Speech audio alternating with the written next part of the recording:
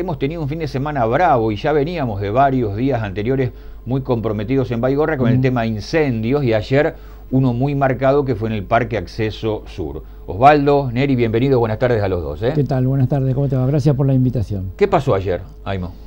Bueno, este, realmente un trabajo muy coordinado eh, en el gobierno de la Municipalidad de Grado Baigorria, bajo la atenta mirada de nuestro intendente Adrián Maglia, eh, todo el equipo de trabajo, encabezado por Neri Berna, que es nuestro coordinador de defensa civil, y los bomberos dieron cuenta de un incendio de proporciones en el Parque Regional Sur, como dijiste recién, de Acceso Sur. Eh, nos pusimos a trabajar rápidamente y se pudo conjurar el peligro, pero bueno, nuestra presencia hoy acá es para llamar la atención de la comunidad porque eh, vemos que están dadas las condiciones desde el punto de vista ambiental por la gran sequía que hay, pero eh, no deja de sorprendernos eh, este incendio particularmente que vos estás hablando y muchos otros que han estado ocurriendo en este último mes y medio, hecho por el cual nosotros esta mañana hicimos una denuncia eh, correspondiente ante la policía local, este, dando cuenta de todos estos episodios como para este, aventar cualquier otro tipo de consecuencia. Denuncia o presentación judicial, policial, ¿ven algo más? ¿Ven alguna mano extraña, Aimo, detrás de estos incendios reiterados, repetitivos que hubo en los últimos tiempos en Baigorria?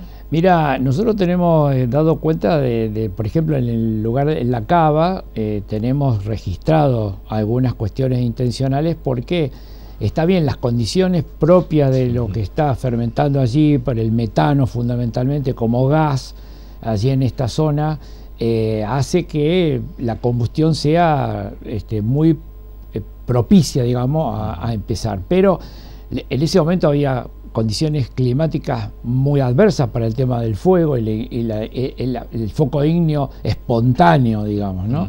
Por lo tanto, allí hubo alguna mano malintencionada. Y en este último del Parque Acceso Sur de anoche, eh, el hecho de ser tan lineal, ¿viste? No parecía, por lo menos a prima fase, ¿no? No parecía este, que se hubiera hecho una combustión espontánea, digamos, ¿no? Entonces, por esto también nuestra presentación judicial para que la justicia investigue ¿sí? esta, esta sospecha que nosotros tenemos, pero también porque esto hace que nosotros tengamos que responder con recursos humanos de la municipalidad, con recursos económicos que pagan todos los vecinos de Granada de Baigorria, y esto, bueno, hace que tengamos que salir también al frente de esta situación. Berna, eh, el de anoche eh, tuvo la espectacularidad que está en un punto neurálgico, que se lo ve desde cualquier lado, de la misma ruta 11, mm. pero fue también de proporciones. Hoy hablaba yo en la radio con Fabricio Gavirá, el jefe del cuerpo activo, que me hablaba de más o menos entre 200 y 300 metros la extensión del fuego de ayer. Eh, sí, exactamente, Ariel, sí. Sobre todo también un poco muy preocupante por la zona muy urbanística que tiene ese sector. Eh, un día domingo mucha recreación para los chicos, eh, fuimos alarmados, la verdad que de manera inmediata con ese tema y también la, extraña, el, extraño proceso que se dio este, este incendio, sí. Sí, por suerte fue un, trabajo, como siempre, muy este, eficaz, eh, muy controlado. Eh, bomberos, nosotros y personal municipal pudimos este, abastecerlo rápido.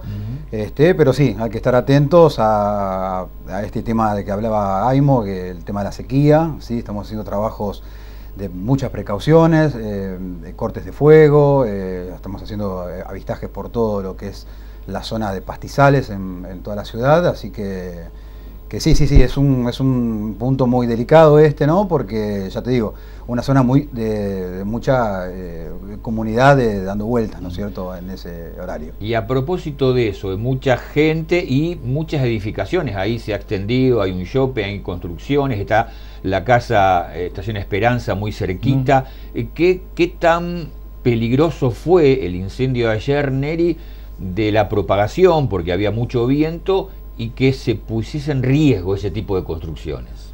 Totalmente, ya te digo, fue controlado por suerte por el trabajo eficaz, pero puede llegar a, un, a un, grado de una catástrofe, ¿no es cierto? O sea, podemos estar hablando, gracias a Dios estamos hablando de un fuego de pastizales, obviamente que cada vecino, cada persona que lo ve se asusta mucho porque es algo muy, muy que no se ve a menudo. Pero tenemos que estar atentos, nosotros estamos preparados, estamos trabajando para que no pase ninguna desgracia, ninguna tragedia. Eh, reitero, estamos eh, trabajando con el tema este de las precauciones por el tema de, sobre todo de la, de la sequía, ¿sí? porque imagínate que en un pastizal todo seco, cualquier cigarrillo, cualquier intención o algo, una fogata. Los chicos haciendo una travesura para incendiar una montañita de hojas. ¿eh? Totalmente, totalmente. Así que sí, estamos, hay que tener cuidado, sí, estamos trabajando con ese tema. Ahí estuvo la semana pasada hablando de este tema porque no es un hecho privativo de Baigorria con Marcos mm. Cajadillo, la gente de la provincia, porque bueno, ayer también veíamos que en la autopista Rosario Córdoba se incendió, a mm. la Vera, bueno, mm. hay, hay mucha preocupación en, todo el ámbito de la región. Sí, exactamente. Bueno, con Marcos somos viejos conocidos, este, hemos trabajado hace muchos años juntos. Eh, en el ámbito de la provincia de Santa Fe y lo sé, una persona muy ocupada y preocupada con el tema, igual que nosotros, por lo tanto en, en Ganado Baigorria va a encontrar siempre un aliado estratégico, como en tantos otros temas estamos trabajando acumuladamente con la provincia de Santa Fe, con el gobierno provincial, eh, ya te decía yo por las directivas que da Adrián Maglia a todo el equipo de trabajo y dentro del el propio gabinete, eh, viste que siempre está obras públicas, servicios públicos, eh, siempre trabajando codo a codo porque es la única manera de enfrentar eficazmente, como decía Neri recién, incendios de esta magnitud. ¿no? Claro. Neri, hoy hablaba con Gaviria que me decía eh, que también están trabajando ahí en la comunidad Cuom, en, todo el sector oeste con eh, contrafuegos. ¿De qué se trata? ¿Cuál es la actividad para que lo entienda la gente, el vecino mm. común? Bien, justamente sí, a partir del jueves y viernes de la semana pasada empezamos a tomar la decisión de hacer este em, eh, una estrategia de, frenos de fuego, ¿sí? que es sacar la vegetación seca que está cerca de justamente de la comunidad Cuom, como de otros domicilios también. Eh, en el caso de que esperemos que no pase, llega a surgir otro, otro incendio de esta manera que tuvimos hace un par de semanas, eh, no llegue a, las viviendas, ¿no es cierto? Así que es un trabajo que se va a empezar a partir de, ya está, trabajando a partir de ahora, maquinarias de la municipalidad, de, servicios públicos, que van a estar haciendo una limpieza de todo lo que es este, la vegetación seca, o sea, es, un, un, trabajo de, es como si fuera una calle, más o menos de dos metros, para que tenga un freno, digamos, el, fuego no se propague hacia, mm. hacia las viviendas y no correr ninguna catástrofe, por supuesto. Bueno, tengo algunos llamados. Alguien me pregunta, eh, Marini, pregúntale, ¿un teléfono hay directo para comunicarse con Defensa Civil? Claro que sí, el 4711-300. Ah, pero no, tres, eh, no el número de tres eh, cifra, digamos, ¿no? No, no el 911. El, el 103, el 103 eh, claro, pero estamos teniendo problemas. los cables. No, no, no, no, no tenemos problemas acá en Baigorria, sino también en Rosario en San Lorenzo, en varios ah. lugares estamos teniendo, eh, hay un problema de comunicación. El 911. Si no el 911, el 911 directamente nos da aviso a nosotros. Eh, estamos las 24 y si no, perdón, te corté el ¿Qué número me dabas de 4, 711 300. 300. Sí. 4, 711 300. Ahí está directamente las operadoras, te atienden de las 24 horas. Eh, y de la guardia está, por supuesto, como digo, las 24 horas, la guardia operativa. Está bien. Pero acá el mensaje me parece a mí que tiene que ser eh, eh, dado a la comunidad, como decimos siempre. Si no incorporamos a la comunidad en todas estas cuestiones, la, nuestra, nuestra tarea se hace muy, pero muy difícil, ¿no? muy cuesta arriba y por lo tanto hay que tener mucho cuidado cuando estamos en esta situación de, extrema sequedad, como decía Neri recién, del manejo que hacemos en los lugares públicos del fuego. Claro. ¿Cierto? Entonces, esa sería la colaboración más grande que le pedimos a la comunidad baigorriense, que se pongan al lado nuestro, porque realmente los recursos son los recursos que pagamos todos. claro, acá por ejemplo nos dice una señora, dice Marini, eh, el incendio que vimos ayer, dice, no se hace con un cigarrillo, hay alguien prendió fuego y después lo trató de lanzar para un lado. Por favor, dice, eso es claramente intencional lo de ayer en el Parque Acceso Sur. Bueno, se o intencional, o por una avivada, o por alguna negligencia, eh, la concientización, ¿no? Por supuesto, totalmente. Y en base a lo que dice este, esta televidente, eh, fue que hicimos la denuncia correspondiente para que la justicia investigue. Perfecto. Eh, hola, buenas tardes, Reporter 2. Quisiera saber si eh, se puede solicitar la cuba en cualquiera o es únicamente los bomberos que tienen que llevar, porque una vez tuve un incendio y me decían que se canalizaba únicamente a través de los bomberos voluntarios, ya que está el Defensa Civil, me gustaría saber su opinión. Por supuesto, cómo no. Bueno, el protocolo es el siguiente, bomberos se acerca al incendio, sí. Por supuesto que se abastece con agua, ¿sí? Eh, tengamos en cuenta que el coche bomba de bomberos tiene una determinada, determinados litros de agua, donde nosotros desde Defensa Civil, en conjunto con, eh, la municipalidad, con, servicios públicos, eh, mandamos la cuba de agua. ¿sí? La cuba la manejamos nosotros. en verdad no la manejamos, le damos aviso, ah. por así decirlo. No lo maneja bomberos, lo maneja la municipalidad que en este momento mm. lo hacemos en conjunto, como te digo, con servicios públicos. Está eh, las 24 horas para utilizarla la Cuba, así que ese, sería, digamos, el, protocolo. Perfecto. Aimo, ¿cómo sigue ahora? La justicia va, va bueno, investigar, va a llamar testimonio a ver quién vio, si alguien vio. ¿eh? A través de la, a través de la de la denuncia que hemos hecho esta mañana, que hemos establecido esta mañana con la policía local, eh, la justicia, bueno, tomará cartas en el asunto y hará lo que hace normalmente. Un poco lo que decía recién Neri, nosotros tenemos protocolizadas nuestras cuestiones, ¿viste? y la justicia debe hacer exactamente lo mismo. Mm, claro, bueno, esperemos que no se demore, porque acá ayer un momento bravo, la gente nos llamaba, nos mandaba esos videos, nos mandaba a nuestra página de reporter de Baigorra Informa mm. y la gente estaba muy asustada, Neri, ¿eh? Lógicamente, sí. sobre todo yo quería mencionar también un poquito, ya siendo intencional o no, eh, que la comunidad y la gente tengamos en cuenta que estamos viviendo una sequía muy grande, ¿sí? por ahí es, eh, responsabilidad nuestra, nuestra me refiero a la persona, no a, Defensa Civil.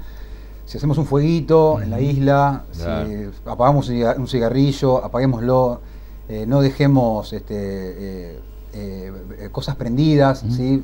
la basura cuando la sacamos también, seamos cuidadosos con ese aspecto, ¿sí? porque, reitero, eh, los pastizales eh, están todos secos, no vamos a tener agua, mucha agua hasta dentro de varios meses, así que es responsabilidad por ahí un poco de todos, ¿no es cierto? Cuidémonos entre todos. Tal cual, tal cual.